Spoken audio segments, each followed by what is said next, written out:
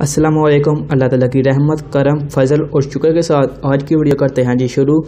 تو ویڈیو شروع کرنے سے پہلے آپ سے گزارش ہے کہ چینل کو جلدی سبسکرائب کر دیں اور کرکٹ کی اور پاکستان ورسز سری لنکا کی تمام نیوز سننے سے پہلے اس چینل کو سبسکرائب کر دیں۔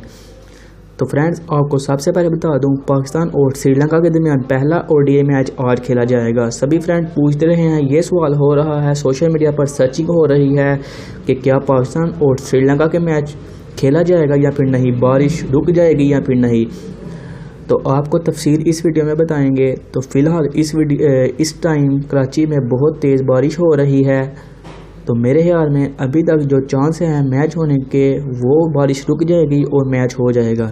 لیکن اگر بات کرتے ہیں اگر بارش نہ رکی، تو میڈیا نے اس کے مطابق آپ کو بتانے والے ہیں کہ اگر تین بجے تک بارش نہ رکی تو پاکستان کا میچ جو ہے وہ کم اوور کا کر دیا جائے گا یعنی کہ بارش نہ رکی میرے خیال میں، اگر تین بجے تک بارش رک جاتی ہے، تو تقریباً چار بجے میچ شروع ہو جائے گا اور تھوڑے اوور کم کر دیے جائیں گے۔ لیکن اگر چار پانچ بجے تک بارش نہ رکی، تو پھر میچ جو کہ ٹی ٹوینٹی میچ کھیلا جائے گا اور آپ کو بتا دیں یہ میچ تقریباً سات ساڑھے سات بجے کھیلا جائے گا، لیکن اگر آٹھ سے میچ باہر ہو جاتا ہے، آٹھ تک بارش، آٹھ بجے تک بارش نہیں رکتی تو پاکستان اور سری لنکا کا میچ شروع کر دیا جائے گا۔ اس میچ کو ختم کر دیا جائے گا اور دوسرے اور ڈی میچ کی تیاری کی جائے گی۔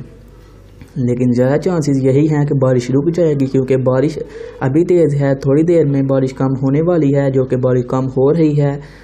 میرے فرینڈ نے مجھے کال کی تھی اور کہہ رہا تھا کہ بارش جو کہ اسٹیڈیم کے پاس میں رہتا ہوں اور تھوڑی سی بارش کم ہو رہی ہے، کبھی تیز ہو رہی ہے، تو میرے خیال میں بارش کم ہو جائے گی، آپ لائیو میچ دے سکتے ہیں۔